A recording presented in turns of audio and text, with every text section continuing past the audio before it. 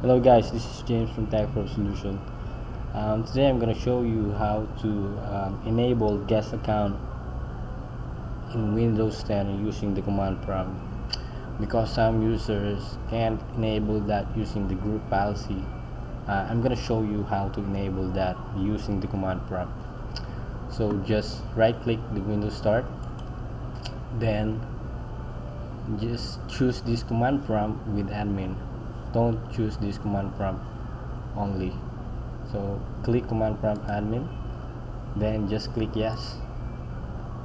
Then just type this um, net user space guest then space again forward slash then active colon then click yes command completed successfully.